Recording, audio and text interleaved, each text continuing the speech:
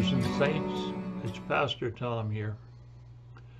At the beginning of a new year, everyone should look thoroughly at the past, simply to choose the roads to take in the coming days or months. We need to pay attention. As Christians, we hear the words of Jesus. He said, Not everyone who says to me, Lord, Lord, will enter the kingdom of heaven, but the one who does the will of my Father who is in heaven. On that day many will say to me, Lord, Lord, did we not prophesy in your name and cast out demons in your name and do mighty works in your name? And then will I declare to them, I never knew you.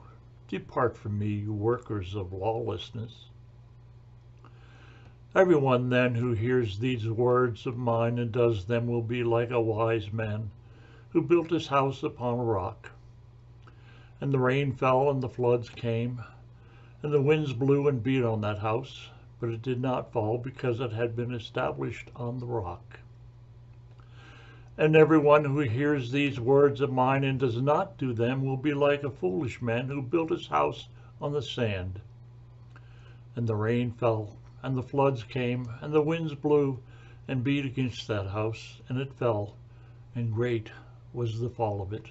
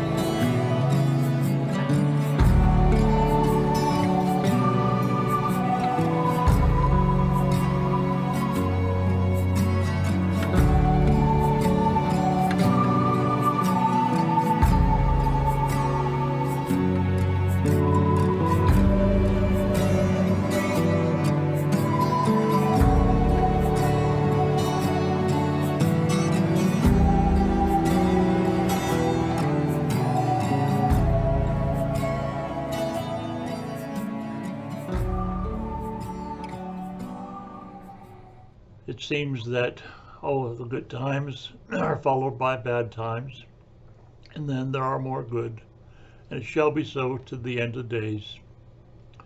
But in thinking about these things, bring to mind that God brought his people through wars, rumors of wars, and still remains with us. Given this good news, I hope to hear of your presence in a faithful Christian church throughout the coming year. Thanks be to God.